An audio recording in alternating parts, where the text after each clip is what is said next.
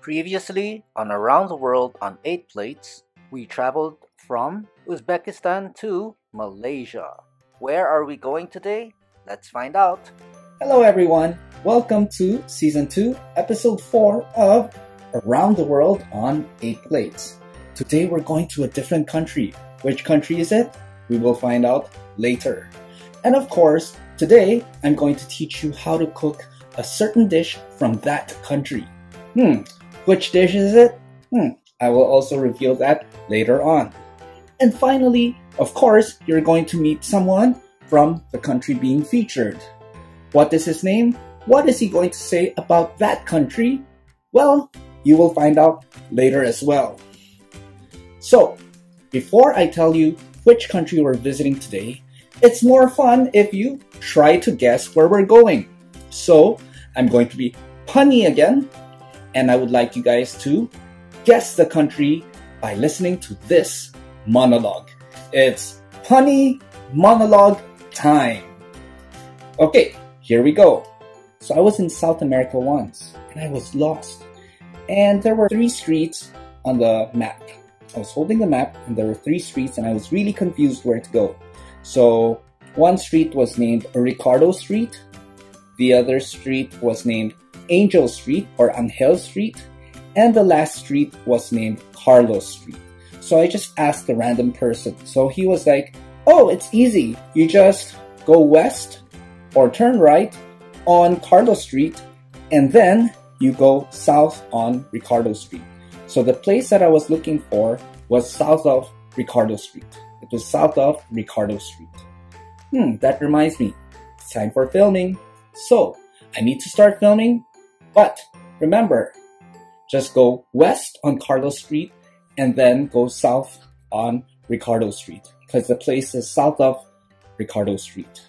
All right, I'm going to see you later.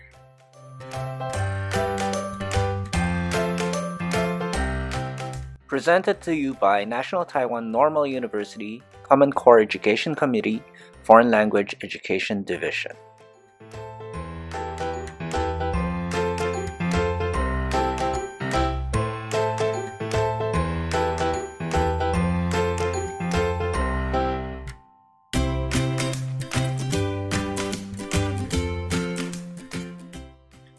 Based on the monologue. Did you guys guess which country we're visiting today? If not, it's okay, because I am going to give you three clues right now. So here are the three clues for you. Clue number one. Well, this country is famous for its wildlife. People go on safaris in this country. And we all know about the Big Five. Big Five include lions, elephants, wildebeest, leopards, and rhinos. But people don't just go to this country for the Big Five. There are other animals as well. Basically, all the animals in Lion King can be found in this country. Let's start with birds. This country is home to the blue velvet, the marabou stork, the flamingo, and the hornbill. Mammals such as the warthog, hyena, cheetah, zebra, kudu, springbok, and giraffe. All this country home. However, not many people know that this country is famous for whale watching. In other countries, you need to travel out to sea by boat to see whales. But in this country, you can just stay on the beach or on the shore in the comfort of your own home and see whales jump out of the water from the window.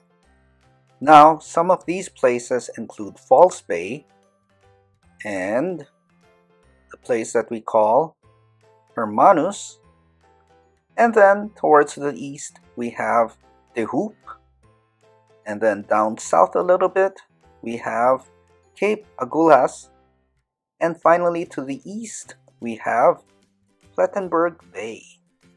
So, where else can you book a hotel, walk a little bit, and see whales in their natural habitat without getting wet. That's right, nowhere else but this country. Here is clue number two for you. The country being featured today has a nickname. It's also called the Rainbow Nation. Why the Rainbow Nation? Well, it's because of its multi-diversity. How is it multi-diverse? Let's find out. First, in terms of language, this country has 11 languages and all of them are official languages. In fact, if you need a document, you will need to have the document translated into all 11 languages. Additionally, in terms of indigenous groups, of course, we have the blacks. They include the Zulu, the Xhosa, the Bapedi, the Swana, the South Ndebele, the Basotho, and of course you have the whites, the Malays, the Indians, and the Chinese. Finally, as a tourist, there are many things for you to see and do as well. There are beautiful cities. There is colorful heritage. There are clean beaches. There are wonderful sculptures. There's interesting history. There are penguins on beaches. There is culture and tradition. And there are national parks for safaris. And finally, here is clue number three. Listen carefully. Because I'm going to try to sing a song in the Xhosa language. Hiteta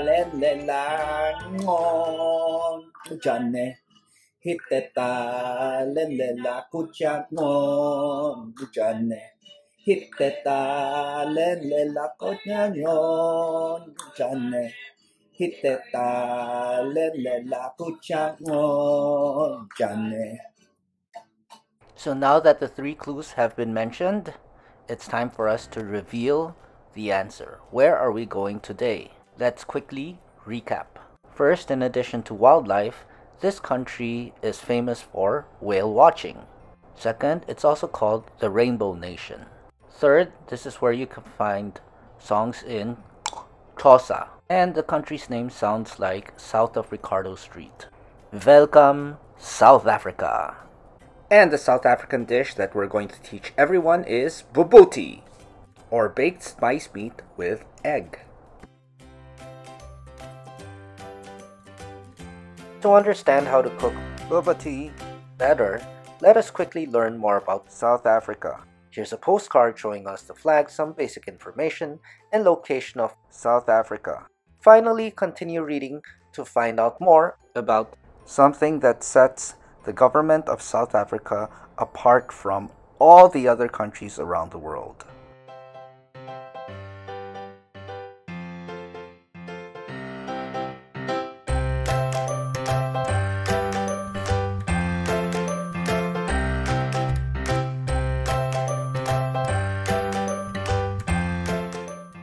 For today's dish, you'll need the following ingredients.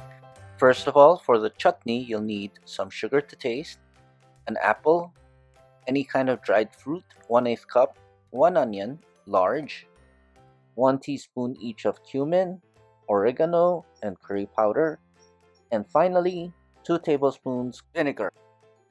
For the meat, you'll need half a kilogram of ground pork or ground beef.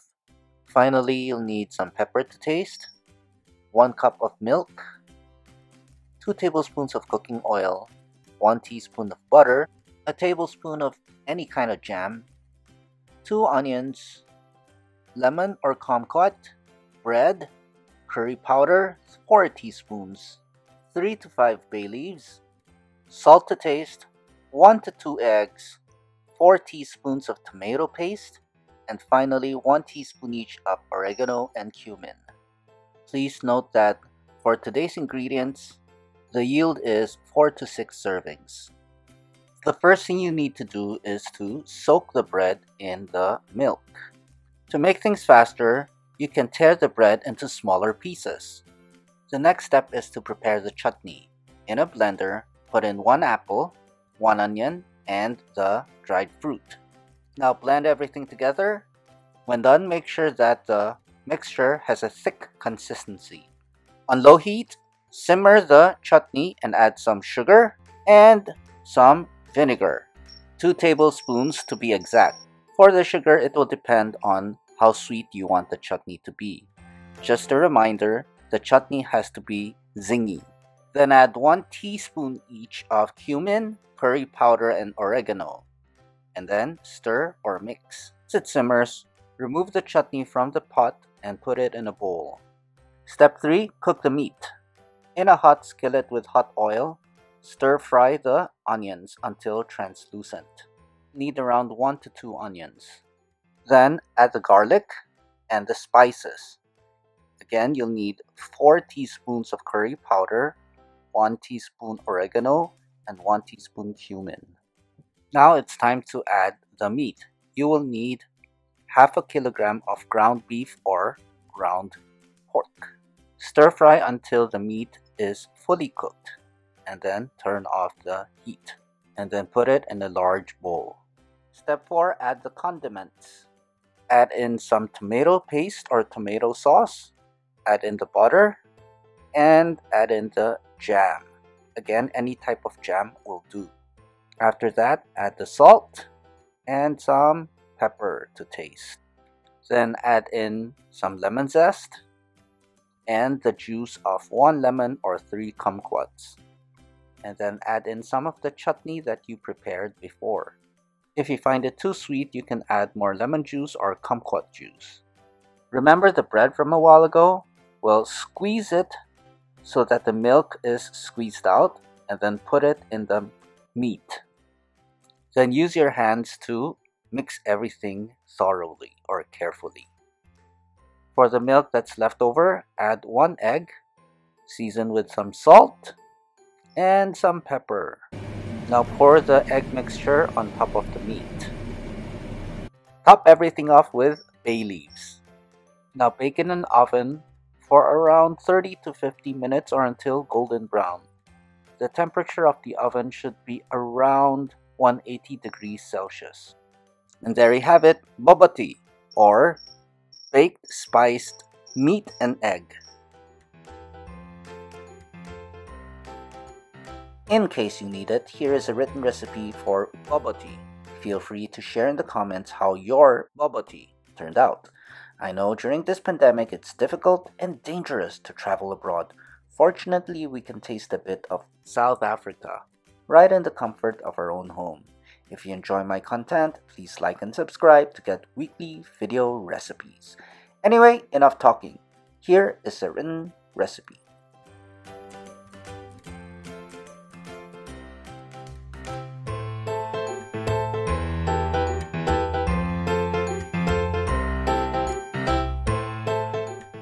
Now let's welcome our guest, our special guest, Mr. Andrew Clerk. Hi folks, my name is Andrew, Andrew Clerk, and I'm from South Africa.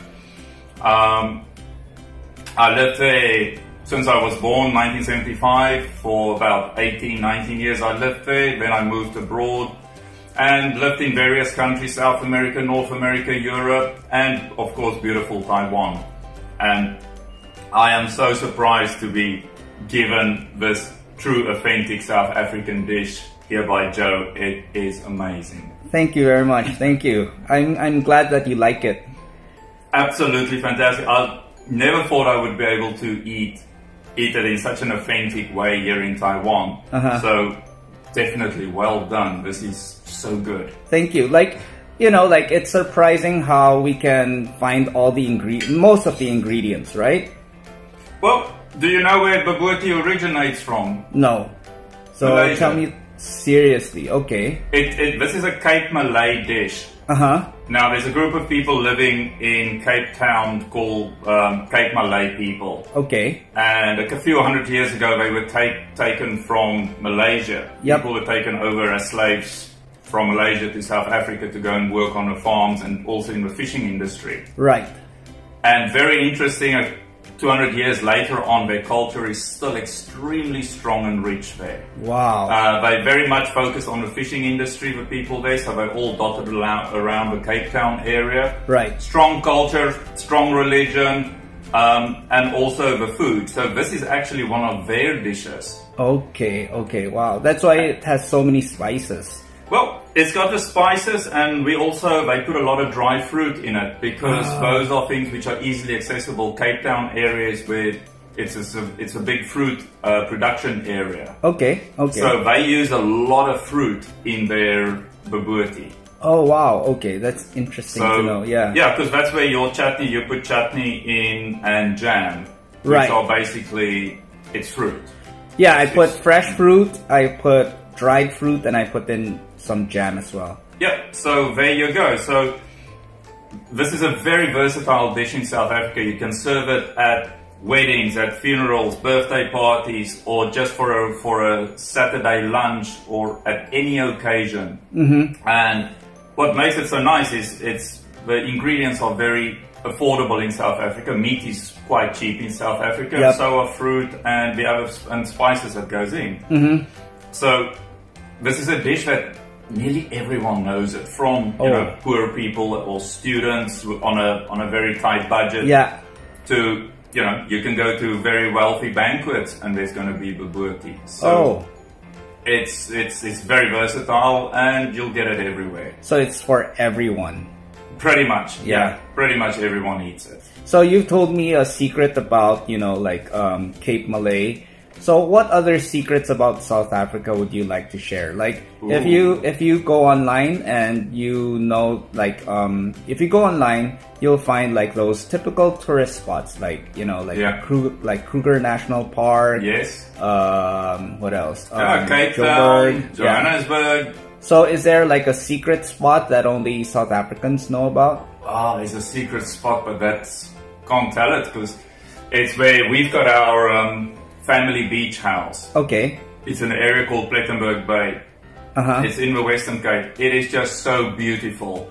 And I think 10 minutes drive from where we are, here's a little fun fact for you. Uh-huh. It's the highest bungee jumping bridge, bungee jump bridge in the world. Oh wow. Natural one, yes. It's, if I can remember right correctly, it's 220 meters high. Uh-huh. It's like about half the height of 101 Tower. Oh, it doesn't wow. sound high until you stand there and you have to jump off. Uh-huh. Then it's high.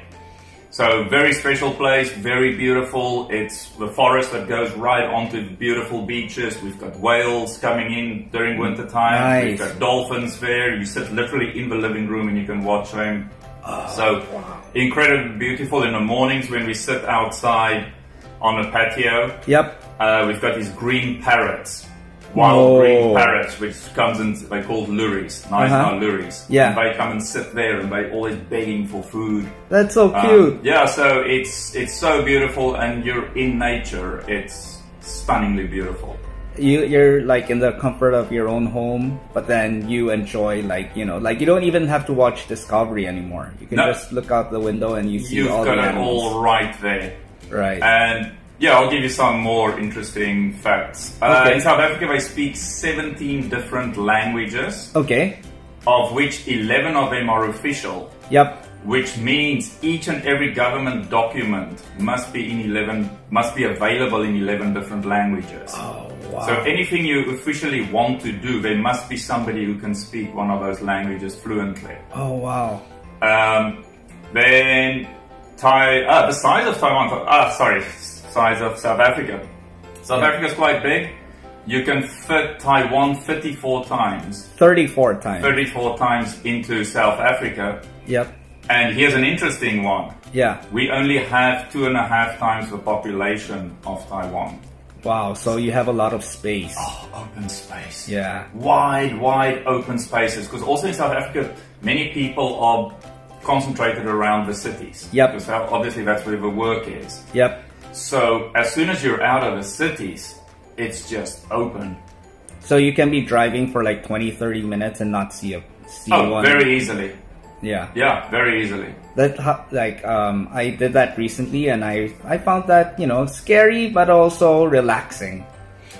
It's very nice. No, Yeah. look, I can highly recommend South Africa to anyone who wants to go for a holiday destination. Yep. Obviously, you've got to be a bit street smart.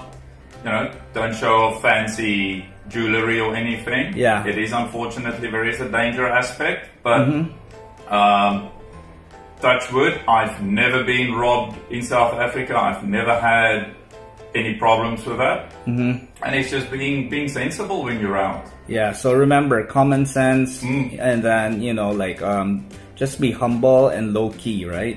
Hundred percent, and always ask for locals. Read up on TripAdvisor what to do and what not to do. But Yep. I've I've had so many foreign friends there, so many Taiwanese friends who came and visited there. My family-in-law came and visit, visited there, Yeah.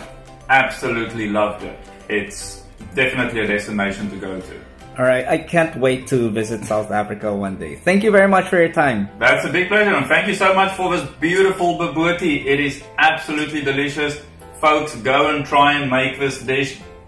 Get the recipe from, from Joe's site. And um, yeah, go make it. It's very delicious. You'd love it. Thank you. Okay.